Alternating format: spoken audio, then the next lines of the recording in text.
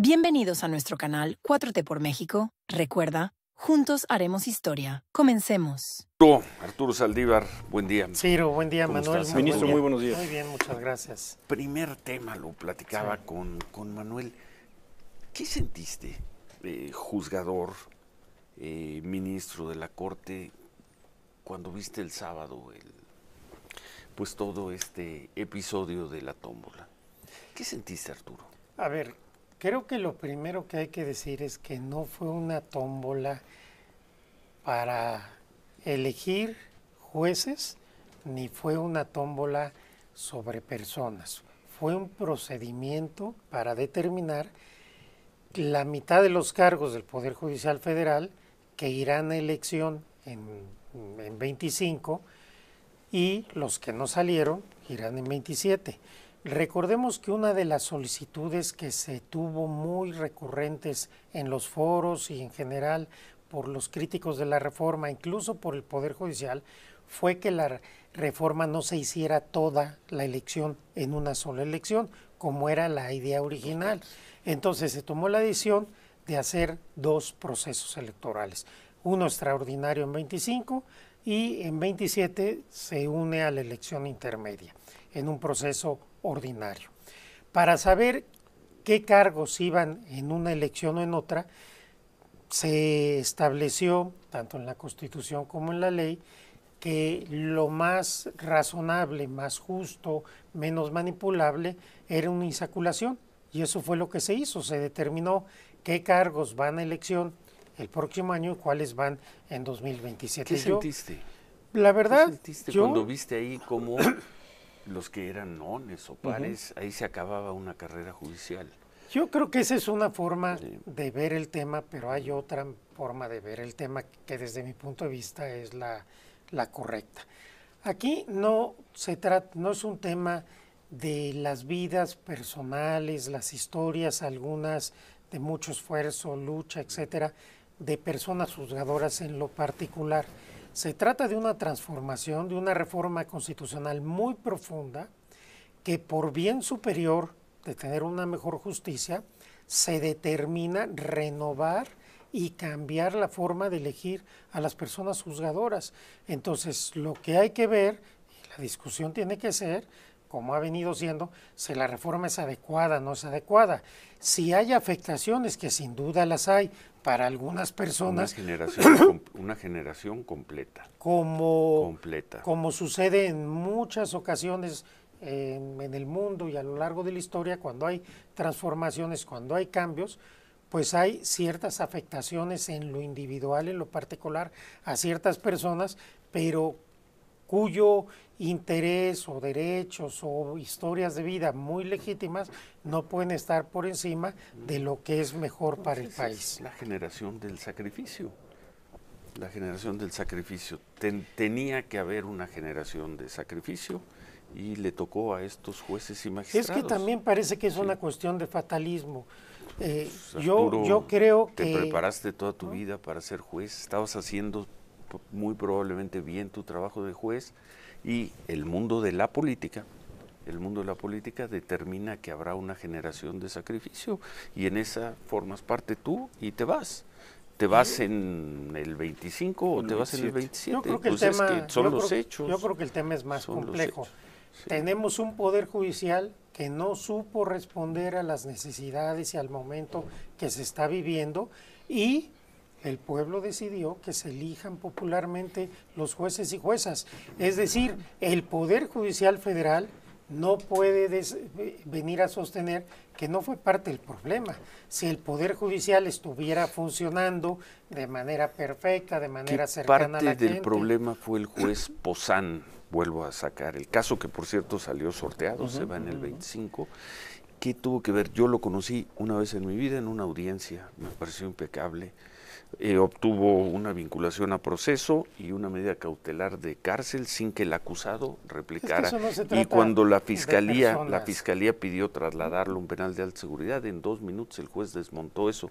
yo te podría, Ese, ese, ese juez a ver, yo te ese juez probablemente te ni conoce a Norma Piña, ni conoce a Nani, probablemente No sabemos. ni esté metido, pero sabes se va, conoce, se va porque es juez. No, ¿Por no qué se va porque es juez. A ¿Por ver, yo te va? podría dar ¿Por muchos nombres que no lo voy Sí. a hacer, de muchos jueces y juezas corruptos, vinculados a la delincuencia organizada, perezosos, eh, que tratan mal a la gente, que no supieron entender, y el Poder Judicial como institución no estuvo a la altura de, de una oportunidad que se dio de hacer En una estos autorreforma. últimos dos años, hoy lo A haces mí- como no, autocrítica no, a mí me parece que es, un- que es una autocrítica que de todo el Poder tu- Judicial. Que alcanza tu, a tu En tiempo. mi administración sí tuvimos una autocrítica y tratamos de mejorar el Poder pero Judicial. tuvieron, por Si ejemplo, tú esos ves- jueces si fueron tú a la ves- cárcel. Si tú- algunos sí. Si tú Sí. ves, si tú ves, por ejemplo, eh, el comportamiento de muchas de las personas del Poder Judicial desde que se anunció la reforma, no hay autocrítica. Ese fue el gran problema pero del la Poder Judicial autocrítica es otra cosa, ¿no? No, la autocrítica es Son reconocer que eres parte del problema. Decir, a ver, tenemos corrupción, tenemos nepotismo, tenemos acoso sexual, tenemos falta de paridad, falta de igualdad sustantiva, la Defensoría Pública no, no funciona, no estamos atendiendo a la gente como se merece, estamos jugando políticamente Entonces, ¿se lo en contra del gobierno. Simplemente hay una explicación de por qué, y no es un caso solo de México, esta es una crisis que está hoy en muchos países del mundo. En ningún país ve una tómbola para no, no, la tómbola no. eliminar, para eliminar para jueces o un proceso de insaculación o un proceso azaroso. Este es un sí. proceso que México determinó para renovar al Poder Judicial, que es tan válido como otros, esto lo hemos platicado ya en otras ocasiones. Lo que yo estoy diciendo es que no se trata de historias particulares. Hay jueces y juezas honorables, no lo dudo, conozco a muchísimos de ellos, hay otros que no lo son, pero ese no es el problema. El problema es que la justicia en México requiere un cambio y el Poder Judicial, sobre todo sus cabezas, no supieron entender el momento que estaba viviendo el país. Esa es la Tú, realidad. Tú eres un Y el- demócrata y eres un libertario. Y Pues, dices yo no que, soy no se, que libertario, no soy se trata un demócrata Libertario no y soy. dices demócrata. Libertario es que Sí, decía, libertario. crees en las libertades. Sí, sí, crees en pero las eso liber- ya hoy que tiene otra crees- connotación. Bueno, ok, que eres un demócrata y crees en la Sí. libertad, ¿sí? Y creo en la derechos, justicia. pues, creo en la y dices justicia. que no se trata de casos individuales. No, Una No. sola vida es suficiente. sí, sí, una pero- sola injusticia es sí, suficiente pero, para pero denunciar. los avances sociales, y eso es en cualquier cuestión, no pueden partir de la base de la afectación individual. No habría ferrocarriles, no habría carreteras, no, había, no habría ejes, ejes eh, viales en la ciudad, no habría nada. Si en ese caso nos ponemos que los derechos de las personas en particular están por encima de los todos, derechos del país, Todos, aquí fueron todos. no, no son todos, Cada, son, son, cada historia. son 1.700 cada- por jueces eso, y juezas frente a un 1700 país de todos. 130 Sí, pero millones son de el personas. universo de jueces y magistrados, es, Por- se van todos,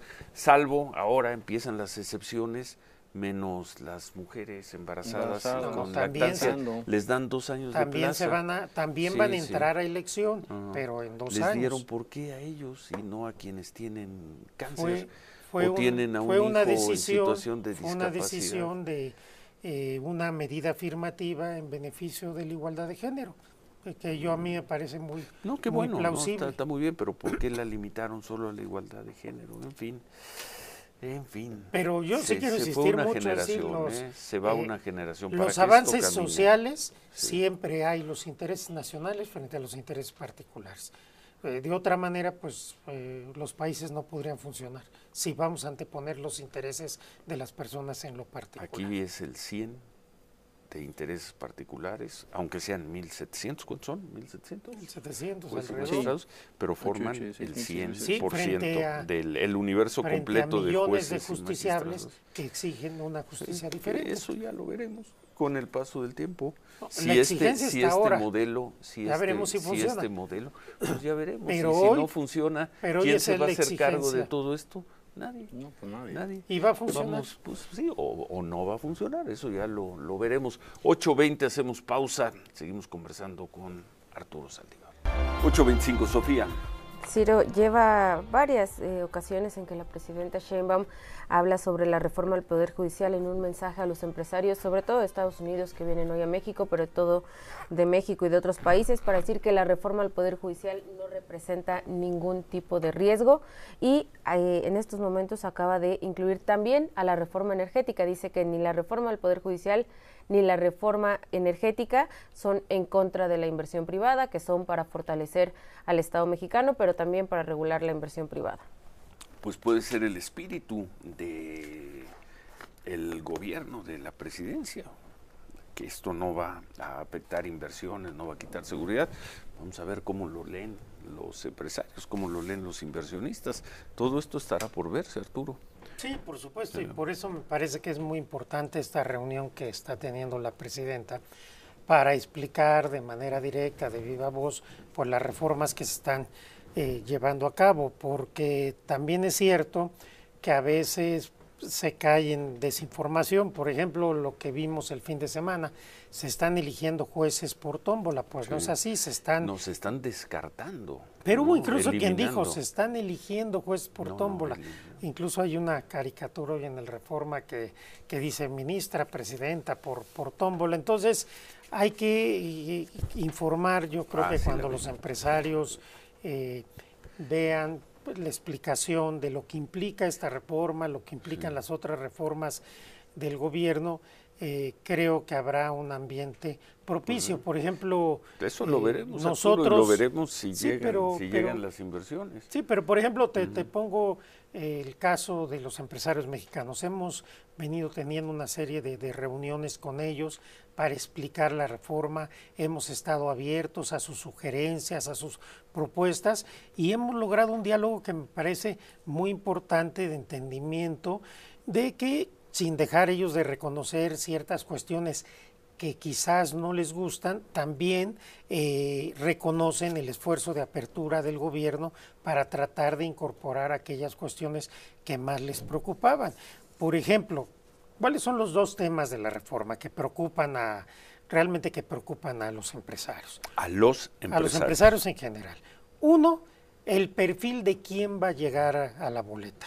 ¿Qué jueces va a haber? Que no haya jueces que sean impreparados, que no haya jueces que estén vinculados al gobierno o al partido político en el poder. O al crimen. O al crimen organizado, que además en ese caso no quiere decir que no los haya desde ahora. Pero bueno, el tema es que con el, los ajustes que se le hicieron a la, a las leyes, primero al dictamen de la Constitución y luego a las leyes reglamentarias, se logró un esquema en el cual se garantiza que lleguen perfiles adecuados y además perfiles que no sean de dazo o vinculados ni al gobierno ni al partido político en el poder. En segundo lugar, las facultades del Tribunal de Disciplina. Es el segundo punto. En eso estamos trabajando en la ley orgánica del Poder Judicial de la Federación para que quede perfectamente delimitado este tribunal. Si tú tienes garantizado que lleguen perfiles adecuados y que los jueces no puedan ser perseguidos por el sentido de sus sentencias, me parece que se quitan las dos principales preocupaciones sobre la reforma. Porque una de las preocupaciones de lo que leo es exactamente lo contrario, que difícilmente eh, se permitirá a un juez votar en contra del sentido del poder. Todo eso lo veremos. Bueno, no hay ninguna razón. eso, pudiera darse una. Esa retórica, no hay ninguna razón, ni está en la reforma, ni está en nada. Eh, simplemente habrá un tribunal de disciplina que vendrá a realizar las facultades que debió haber realizado el Consejo y la Judicatura, pero respetando la autonomía y la independencia de todas las personas juzgadoras. Un juez o mitad de los jueces van a ser elegidos el primer domingo de junio y toman posesión de inmediato. En septiembre. En septiembre, tres meses. O sea, en septiembre habrá la mitad de los tienes jueces. Nueva, tienes nueva Suprema Corte, tienes... Nueva, la Corte sí es completa. Completa, el nuevo Tribunal de Disciplina, tendrás los dos cargos que faltan en la sala superior del Tribunal Electoral y las salas eh, regionales del Tribunal Electoral y la mitad de jueces y magistrados. Eh, la, ahora es la convocatoria, ministro. Entonces la convocatoria se estaba esperando ya para esos momentos. Nos leyó usted hace ocho días una serie de fechas importantes. Esta no creo que se dé hoy, ¿verdad? No, la convocatoria tendría como fecha límite mañana, pero tengo entendido que los senadores la quieren sacar desde hoy. Ya la tienen, ya la tienen lista. Está de acuerdo a la ley que, se, que, que ya se aprobó, la ley electoral, la Ley General de Instituciones y Procedimientos Electorales, que se reformó para efecto de incluir la elección de jueces y juezas, eh, de tal suerte que es muy probable que hoy, quizás después de mediodía, ya conozcamos la convocatoria. De aplicación inmediata. Sí, de aplicación inmediata que abre ya, bueno, se había abierto ya con una reunión preparatoria del INE, pero ya formalmente se abre ya todo el proceso electoral eh, propiamente dicho. Eh, lo inmediato será que los poderes tienen que integrar sus comités evaluadores, que de toda la reforma esto va a ser lo más importante. Cada poder tendrá un comité evaluador con cinco personas de reconocido prestigio, respetando paridad de género. La idea es que sean tres mujeres y, cinco hombres, esos, perdón, y dos hombres, eso sería lo ideal. Y estos comités tendrán a su cargo lanzar la convocatoria para que todas las personas interesadas puedan inscribirse. Y entonces habrá varios, varias etapas. La primera, pues revisar los requisitos formales. La segunda, ver de acuerdo a la currícula y a los documentos que se presentan cuáles son los perfiles más idóneos y de estos perfiles que son los finalistas seguirá una etapa de comparecencias o entrevistas públicas televisadas para que efectivamente la ciudadanía tenga la certeza de que llegan los mejores perfiles. Y después se someten a consideración, por ejemplo, en caso de la Corte, 10 candidatos para cada cargo, se viene una insaculación y quedan tres por cada poder.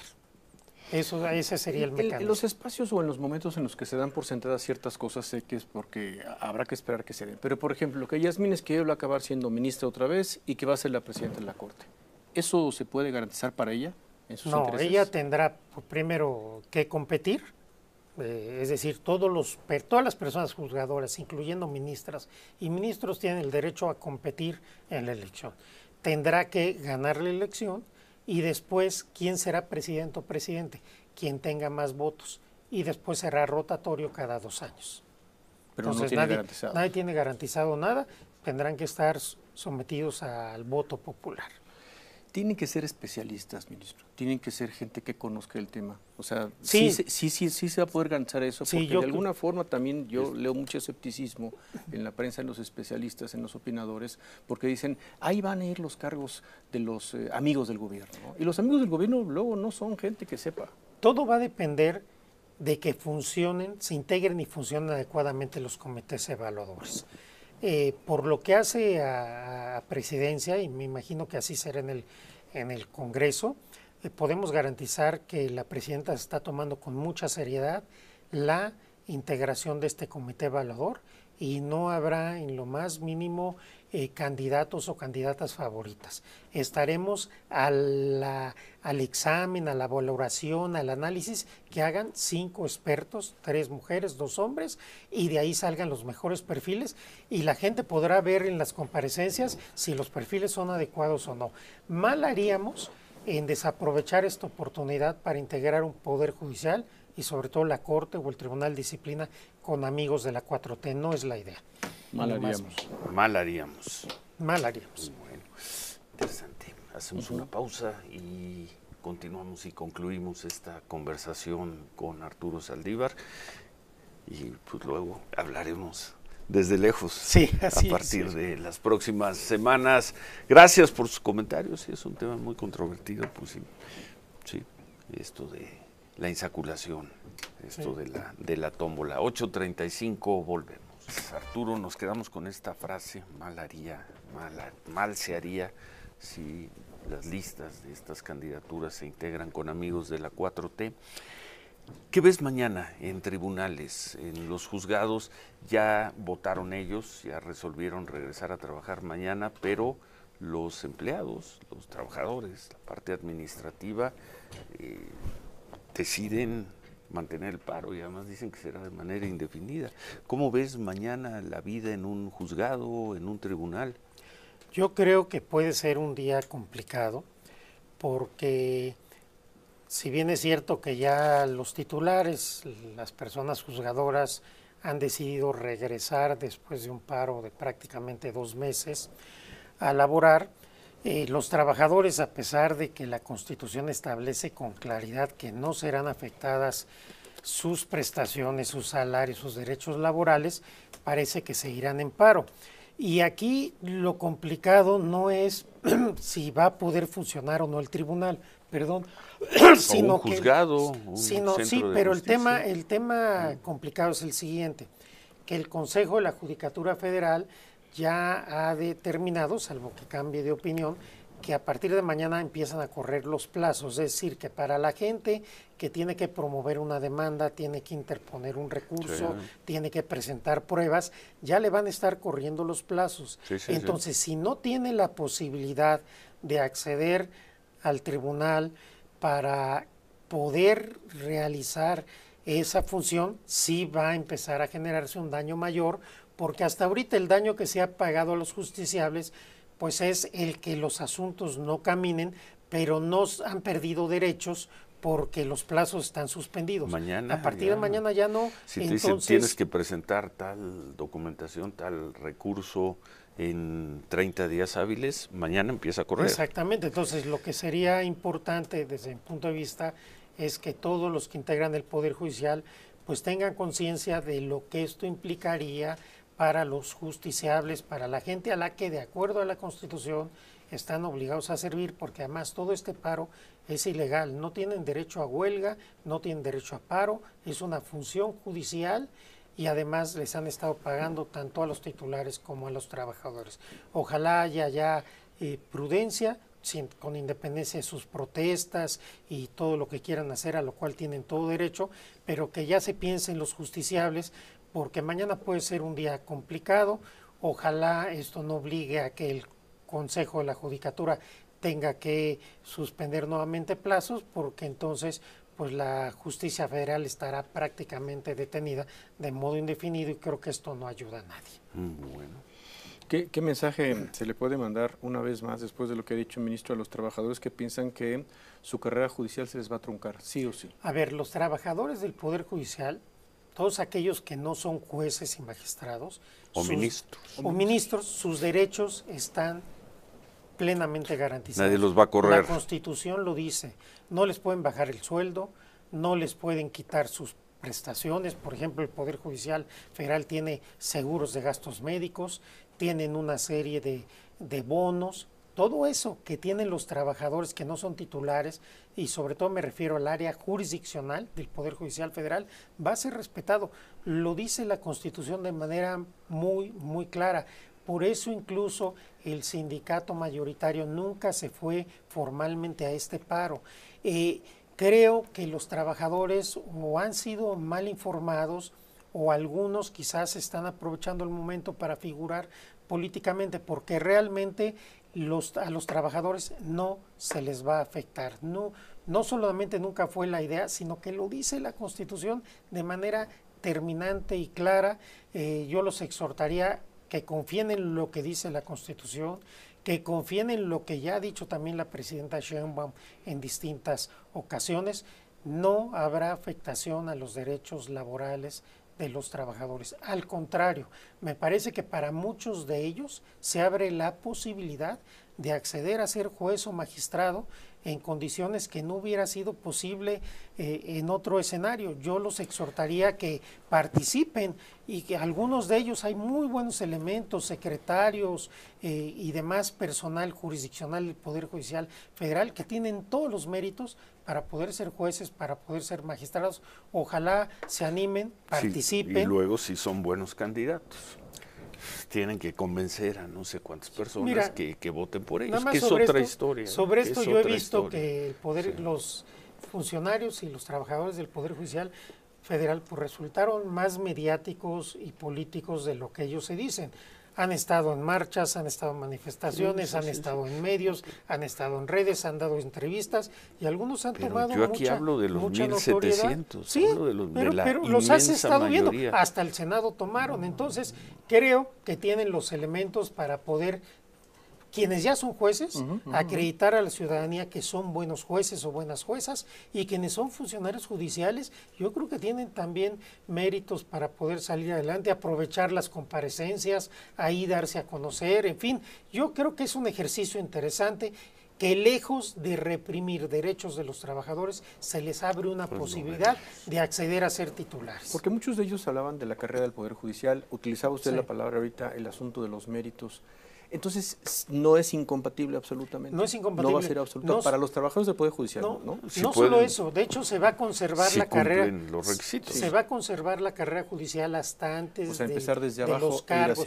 la idea es que todos los cargos en el Poder Judicial estén por, por, oposición, de tal suerte que los juzgados, los tribunales tengan gente muy preparada, que sea quienes llevan toda la estructura y y cualquiera de ellos en su momento pueda competir para ser juez, para ser magistrado, incluso para ser ministro. Yo creo que en el Poder Judicial hay gente muy valiosa que puede competir y también creo que hay jueces y juezas muy valiosos que también, eh, si compiten para esta especie de ratificación, tienen muchas probabilidades de, salir. Eh, muchas probabilidades. Sí, yo creo que sí. Tienes que pasar primero por una preselección, ya sea en el Poder Ejecutivo. No, los jueces y magistrados no. ellos van en automático. Ellos van en automático. Ellos van en automático. ellos, ellos van en automático. Si un juez dice yo quiero competir, va en automático. Sí, pero por ejemplo, un juez. ¿A la boleta? Sí, va en automático a la boleta. Ahora, un juez o un magistrado puede competir para otro cargo. Por ejemplo, un juez dice, yo no quiero ir en mi boleta, yo quiero, ser, ministro quiero ser magistrado, quiero ser ministro, se inscribe y participa con la miras de ser ese cargo. Entonces también se puede ver como una oportunidad que quizás muchos de ellos nunca hubieran tenido con el sistema actual. Porque a ver, yo no veo, yo no veo ministros de carrera judicial que en el sistema actual se siguieran nombrando. Lo más probable es que fueran externos. Entonces, esta es una oportunidad de que lleguen gente del Poder Judicial de carrera también a ser ministros y a fortalecer eh, el Tribunal de Disciplina y todo lo que es el Poder Judicial Federal. Es una reforma con el Poder Judicial, no contra el Poder Judicial, y por eso la Corte tiene un tercio de todos los nombramientos que se van a postular. Si te ha gustado el video, no olvides darle like, suscribirte, compartir y activar la campanita para no perderte ninguna de nuestros próximos videos.